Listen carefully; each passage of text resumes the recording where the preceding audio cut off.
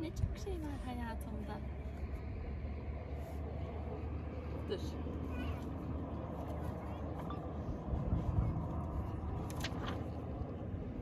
Ah be Bak bakalım.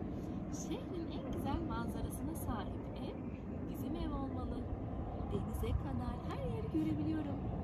Her sabah güneşin doğuşunu, her akşam güneşin batışını zevkle izleyebiliyorum. Evimizin, evimizin hemen ormanın yanında. Koşup oynayabileceğim, eğlenip keşifler yapabileceğim bir sürü açık alan var. Bu çocuk, bunun evinin etrafında böyle kocaman bir orman varmış biliyor musun? Bu çocuk ormanda koşuyormuş, oynuyormuş. Akrabalarım bize çok yakın oturuyor. Vaktimi kuzenlerimle oyun oynayarak geçiriyorum. Benim birçok kuzenim var. Bu yüzden kendimi hiç yalnız hissetmiyorum. Bak bu Ada, bu Asel Zümra, bu da Alp. Hayır. Bu benim en değerli el yapımı bebeğim. Çok güzeldir. Bunu biri vermişti bana. Bildiğim kadarıyla böylesi güzel bir bebek burada benden başka kimse de yok. Baksana bebeği çok tatlı duruyor değil mi? Soğuk akşamlarda babam bizim için ateş yakıyor. Annem ise çay yapıyor. Uykumuz gelinceye kadar ateşin etrafında... bu babası. Ateşin etrafında birlikte oturuyor, hikayeler dinliyoruz.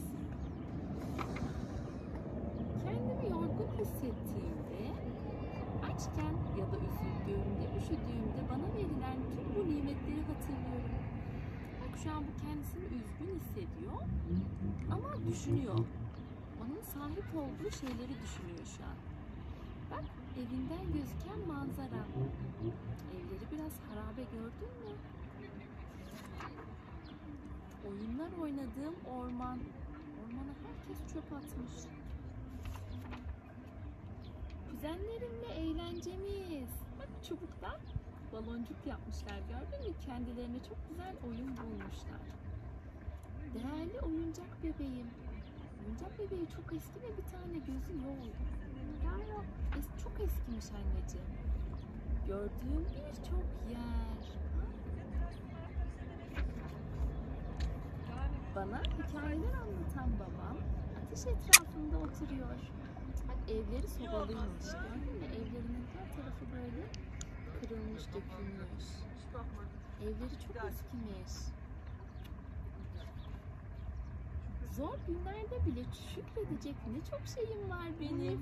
ne? Annesi. Fatma. O da e, Ada. Anne ve babam bütün bunları unuttuğumda bana hep hatırlatıyorlar. Ve ne de güzel yapıyorlar. Şükredecek çok şeyim var benim. Var şu an yoklar. Fotoğraf çektin mi? Şöyle çeksene bir tane de. Dalmışım ben. Şey, e, seninkini kapat.